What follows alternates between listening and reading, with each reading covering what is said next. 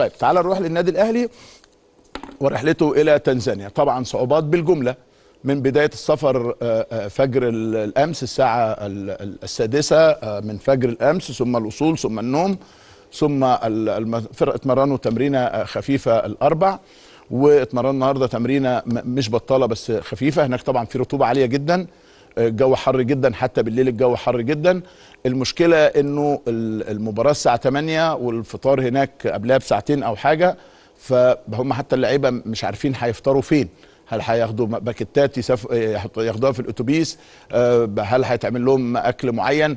آه، يعني لسه القصة مش باينة آه، هيفطروا إزاي المباراة الساعة الثامنة بتوقيت القاهرة. وإحنا الفرق ساعة ما بيننا وما بينهم. يعني فيعني القصة مش سهلة. آه، عايز أقول لك إنه البعثة كلها الحمد لله ما فيهاش إصابات. ممكن يكون في عدم جاهزية شوية مثلا مثلا لحسين الشحات لكن ما فيش إصابات. يعني لو الراجل عايز يعتمد عليه هيعتمد عليه. مروان عطية سليم الحمد لله. أنا بقول لك معلومات خلي بال حضرتك يعني. فلو الراجل قال لحسين يلعب هيلعب.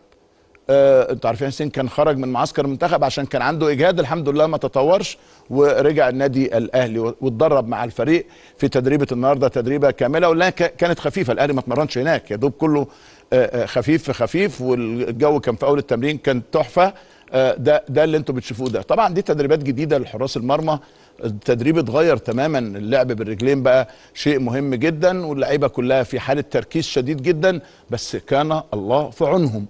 يعني من حسن حظ الأهلي ان بيرسي تاو ما راحش جنوب أفريقيا مع المنتخب وإن علي معلول ما راحش تونس مع آه، المنتخب وإن رضا سليم ما راحش المغرب مع المنتخب فادولهم فرصة للراحة شوية وللتمرين. مع المجموعة اللي راحت من ال- المنتخب الوطني المصري لأن محمد هاني لعب المباريات بالكامل محمد عبد المنعم لعب المباريات بالكامل رامي ربيعة لعب المباريات بالكامل محمد مجدي قفشة لعب المباريات بالكامل وغيرهم من اللي أكرم توفيق لعب مباراة آه، وشوية تقريبا يعني. فالدنيا يعني في حالة من الإرهاق ما حدش يقدر آه، ينفيها يعني. لكن إحنا قلنا المبررات اللي كانت موجودة امبارح.